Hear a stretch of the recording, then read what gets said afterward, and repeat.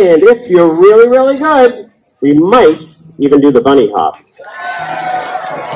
Right? Let's review some vocabulary first. 兔子 is bunny, rabbit. 兔子跳 is to hop, to jump, or to dance.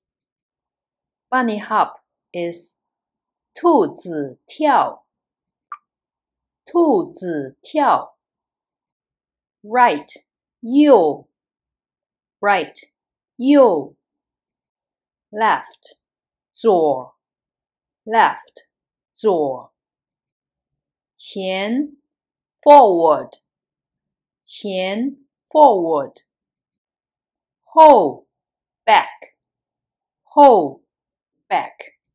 All it is is right and right, left and left, hop forward, hop back, hop forward, forward, forward. 右右左左前后前前前右 And right, left and left, 左 hop前 forward, hop Oh. back, hop Tian, forward, tian, good time, there you go. Left and left, forward, hop back, one, two, three.